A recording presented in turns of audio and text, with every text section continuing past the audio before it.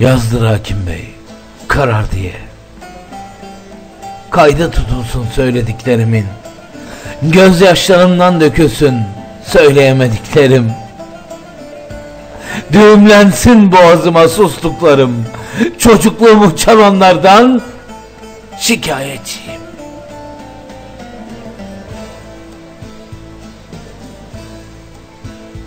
Ama suçlu olan benmişim. Soru sormayın hakim bey.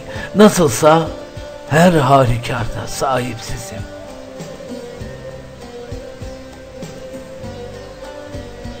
Ondandır söylediklerim. Anlamsız gelecek. Neden ben suçluyum sizce?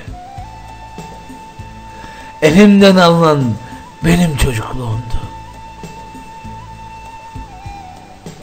Gülüşlerimi çaldılar hakim bey. Gülüşlerimi. Şimdi bana. Şimdi bana gülmeyi anlattıramaz mısınız mesela? Hani ceza maddesinde bir yeri var mı bilmem. Bilgisizliğime verin hakim bey. Bilgisizliğime verin. Bilgisizliğime verin hakim bey. Kirpiklerim ıslanmaktan yoruldu. Peki asık suratlı oluşum benim suçum mu?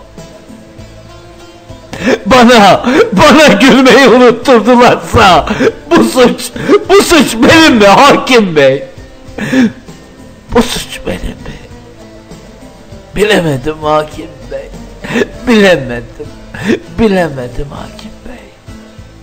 Ben hiç bilemedim. Biz, biz yokluklar içinde sevgiyle büyüdük. Nasıl böylesi kırıldık bilemedim. Bilemedim hakim bey bilemedim. Parça parça bölük bölçük. Ah benim içime içime gülüşlerimi çaldılar hakim bey. Şimdi Şimdi karar sizin. Söz sizin hakim bey. Kalem sizin. Yazdırın karar diye. Fermanımı verin hakim bey. Fermanımı verin hakim bey. İdam diye.